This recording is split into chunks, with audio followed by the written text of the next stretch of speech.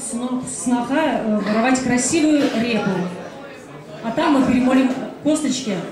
А- обо всем поговорим. В общем, такая ироничная песня, когда обсуждают семейную жизнь. Ну, как обычно, все у нас мужья лентяи, ничего не делают, шуба не дарят. Вот, а свекровь свекровью злыдни. В общем-то, вы понимаете, что ничего не меняется, что было там в 16-17 веке, что в 21 веке.